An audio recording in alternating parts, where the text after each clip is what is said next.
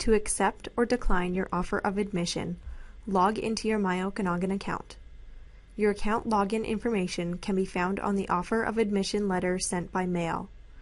If you have never logged into your account, the default password is your birthday, month month, day day, year year. If you are having problems logging in, refer to the How to Log In to myOkanagan video on the Okanagan College YouTube site www.youtube.com slash user slash Okanagan College. Go to the Applicant tab. On the Online Services channel, click on View My Applications. Select the application you want to accept or decline.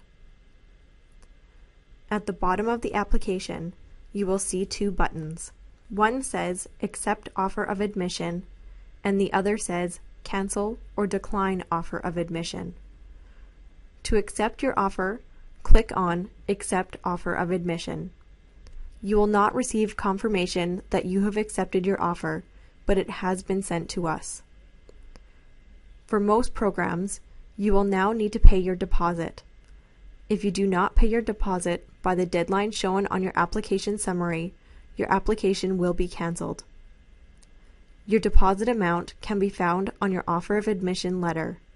To find out more about payment options, go to www.okanagan.bc.ca slash fee payment.